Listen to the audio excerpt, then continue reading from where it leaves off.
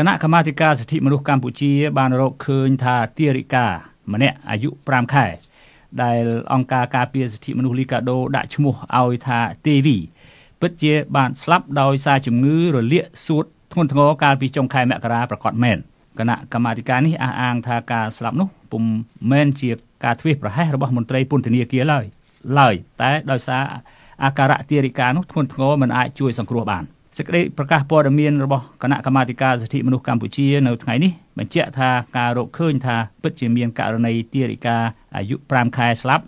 ដែលជាប់ពន្ធនាគារជាមួយម្ដាយស្លាប់ប្រកបមែន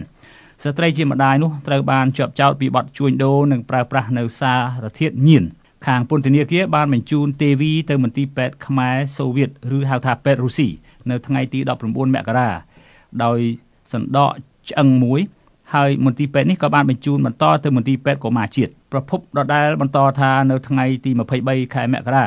ខាងពន្ធនាគារក៏បានបញ្ជូនទេវីទៅមន្ទីរពេទ្យកុមារជាតិម្ដងទៀតមុនការណាត់ជួបរបស់គ្រូពេទ្យ2ថ្ងៃក្រោយមកនៅថ្ងៃទី25មករាខាងពន្ធនាគារបានបញ្ជូនទេវីមកមន្ទីរពេទ្យរុស្ស៊ីប៉ុន្តែនៅថ្ងៃទី26មករាទេវីក៏បានស្លាប់គណៈកម្មាធិការសិទ្ធិមនុស្សពីរដ្ឋាភិបាលបញ្ជាក់ថាករណីនេះបណ្ដាលមកពីជំងឺរលាកសួតធ្ងន់ធ្ងរ ទោះជាយ៉ាងណាក៏ដោយក្នុងសេចក្តីប្រកាសព័ត៌មានរបស់គណៈកម្មការសិទ្ធិមនុស្សកម្ពុជានៅមានភាពមិនច្បាស់លាស់ជាច្រើនដូចជាមិនបានបញ្ជាក់ពីមូលហេតុដែលបណ្ដាលឲ្យទារិកានោះសណ្ដកឆ្អឹងមួយនោះទេហើយក៏មិនបានបញ្ជាក់ពីមូលហេតុដែលខាងមន្ទីរពេទ្យមិនបានអនុញ្ញាតឲ្យម្ដាយនិងទេវីអាចសម្រាកព្យាបាលជំងឺរហូតដល់ជាសះស្បើយនោះដែរ ដោយសុកចិត្តបញ្ជូនទៅពន្ធនាគារចុះឡើងចុះឡើងរហូតដល់ដំណាក់កាលធ្ងន់ធ្ងរកាលពីថ្ងៃម្សិលមិញអង្គការការពារសិទ្ធិមនុស្សបានចេញសេចក្តីថ្លែងការណ៍មួយទាមទារឲ្យមានការស៊ើបអង្កេតជាបន្ទាន់ករណីទារិកាម្នាក់ស្លាប់ដោយសាររស់នៅជាមួយម្ដាយក្នុងពន្ធនាគារដើម្បីបញ្ជៀសបញ្ហានេះកើតឡើងជាបន្តទៅទៀតអង្គការសិទ្ធិមនុស្សមួយនេះក៏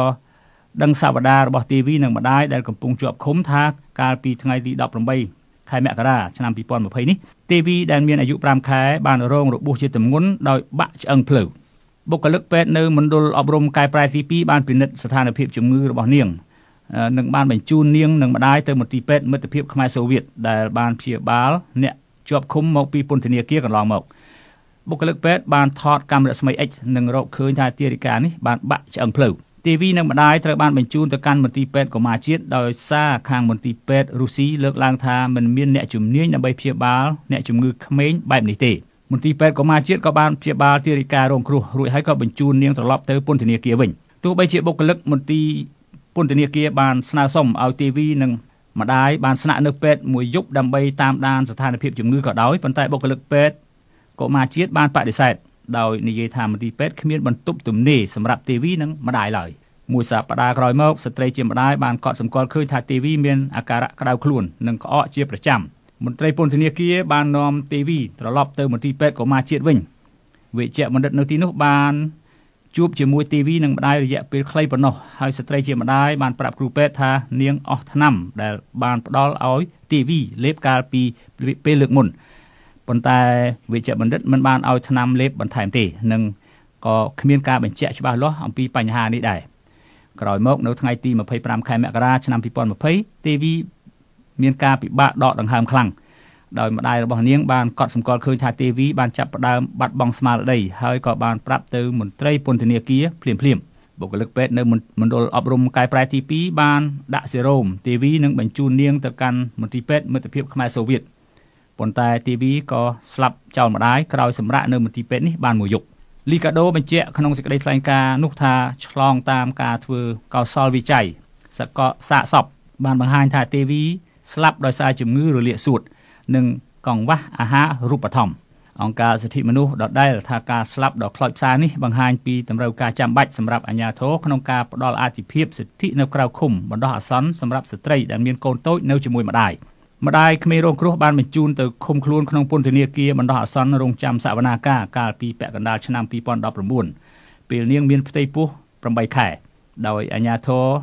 ចោទថាបានកាន់កាប់កញ្ចប់ថ្នាំញៀនប្រភេទមេតាំហ្វេតាមីនមានតម្លៃត្រឹមតែ10000រៀលឬស្មើ2ដុល្លារកន្លះប៉ុណ្ណោះម្ដាយទេវីមិនត្រូវបានផ្ដល់មេធាវីការពារក្តីទេ ហើយក៏មិនបានដឹងពីសិទ្ធិក្នុងការស្នើសុំរស់នៅនៅក្រៅឃុំនោះដែរ